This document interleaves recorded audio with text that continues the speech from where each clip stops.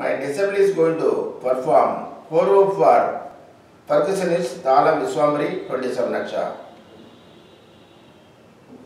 Naksha.